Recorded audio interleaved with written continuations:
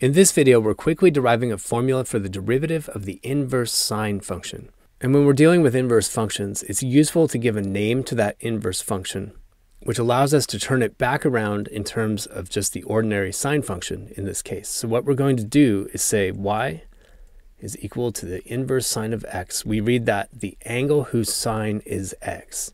So when we turn this around, we get the sine of y is equal to x because y is the angle whose sine is x.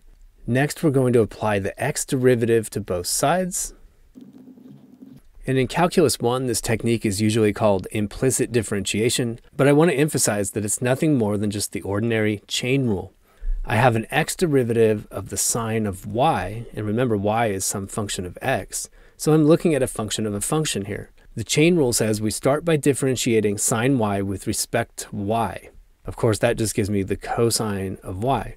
But then I have to tack on the derivative of y with respect to x. On the right-hand side, I have the first derivative of x, which is just 1. And the payoff here is that we can solve for dy dx. That's what we're looking for, the first derivative of y, and that's 1 over the cosine of y. Now our goal is to get an expression entirely in terms of x for this derivative, so we have to replace the y with its original definition as the inverse sine of x and I end up with dy dx is equal to 1 over the cosine of the angle whose sine is x.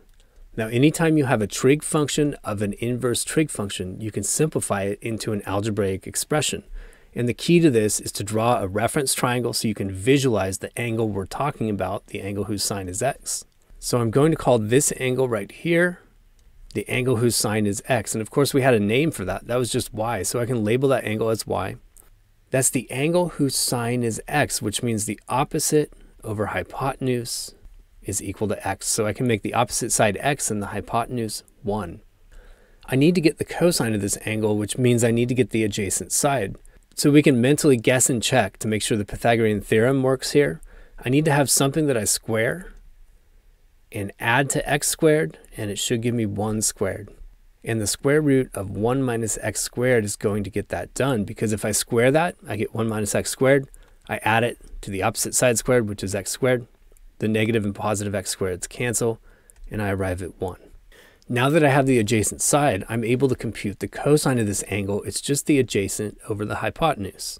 So the cosine of the angle whose sine is x is just equal to the square root of 1 minus x squared.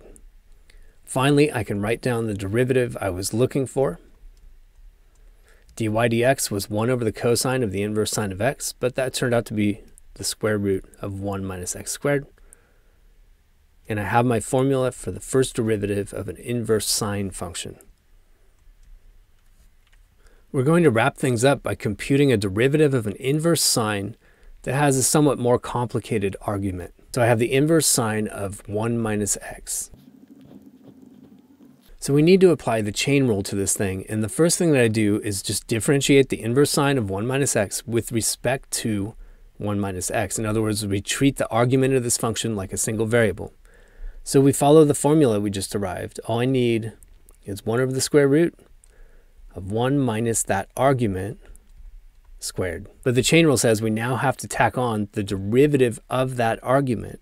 And when I differentiate 1 minus x, well, the 1 doesn't matter but the derivative of negative x is negative 1. So we can clean this up a little by writing it as negative 1 over the square root of 1 minus 1 minus x quantity squared.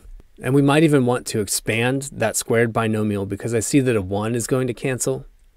So an alternative form for this would be found by expanding that squared binomial. So when I multiply 1 minus x by itself, I get 1 minus 2x plus x squared the ones are going to cancel there. I end up with a negative 1 over the square root of 2x. I'm distributing the minus sign now. 2x minus x squared. And that's it. If you enjoyed this video or at least found it useful, check out another one by clicking one of the links on the left, or click the Zak's Lab logo on the right to explore dozens of physics and math playlists. As always, you can leave your questions, comments, and requests in the comments section below, and I'll get back to you within 24 hours. Thanks for watching Zak's Lab, and best of luck on your math and physics journey.